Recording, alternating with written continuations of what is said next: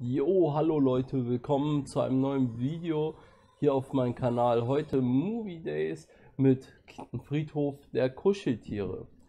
Ähm, Im Groben orientiert sich dieser Film an dem Originalfilm, nicht an dem Kultroman, so wie es da oben steht, obwohl es natürlich Parallelen gibt, aber ja, ähm, es ist halt ein Film, genau wie das, wie der Originalfilm, der damals rauskam und ähm, eher weniger an das Buch.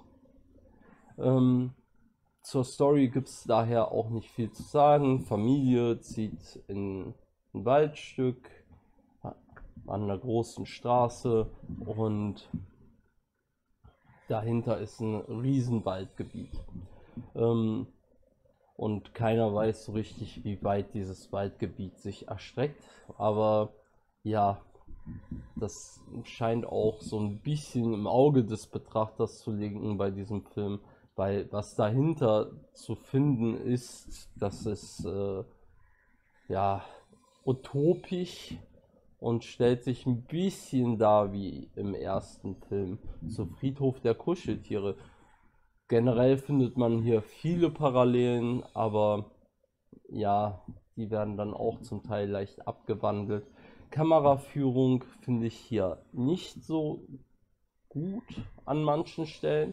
Sie bei gewissen Jumpscares kommen dann erwartete Szenen ein bisschen anders da. Also wo man eigentlich darauf setzt, dass jetzt hier der Jumpscare, der Jumpscare kommt, passiert es aber dann, dass das ein bisschen länger gezogen wird und dann der Jumpscare einfach random eingeführt wird. Also sprich, da kommt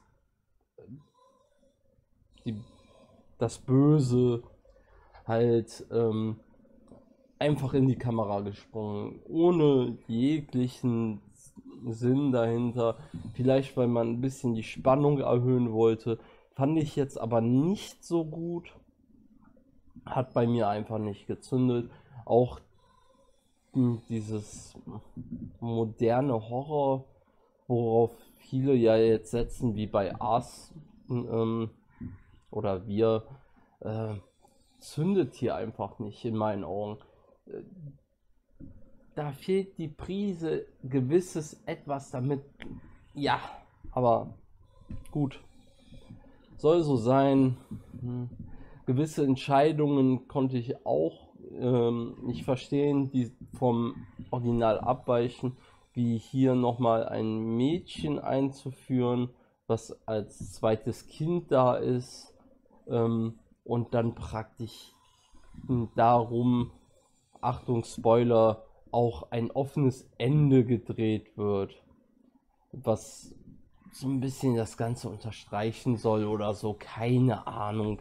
Ähm, ich finde, der Plot, der hier äh, gemacht wird, ist nicht ganz schlüssig. Fand ich auch.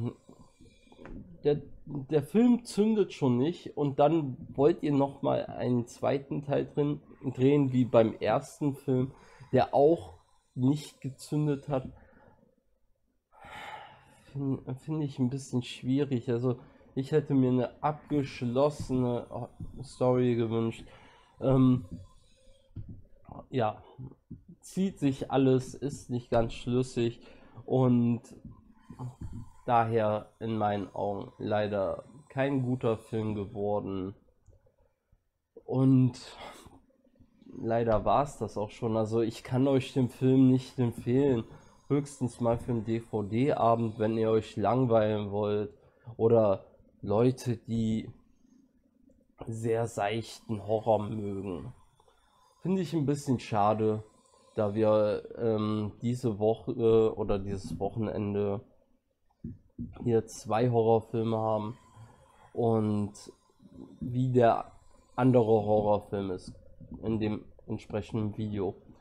Aber hier, wie gesagt, der Film leider nicht sehr gut geworden. Und damit bleibt mir eigentlich nur noch das Schlusswort zu dem Ganzen. Mir wurde der Film empfohlen von einem Kumpel und er sagte, ich fand ihn stellenweise sehr gut.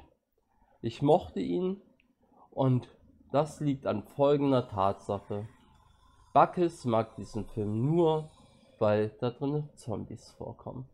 Das war's von mir. Liken, kommentieren hm, und vielleicht teilen, wenn euch das Video gefallen hat. Gebt einen Daumen nach, nach oben. Ansonsten bin ich raus. Euer Open Beta. Ciao.